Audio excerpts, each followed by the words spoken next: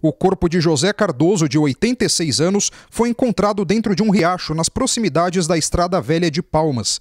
Ele estava desaparecido desde domingo e sofria de mal de Alzheimer. A polícia vai investigar as circunstâncias da morte.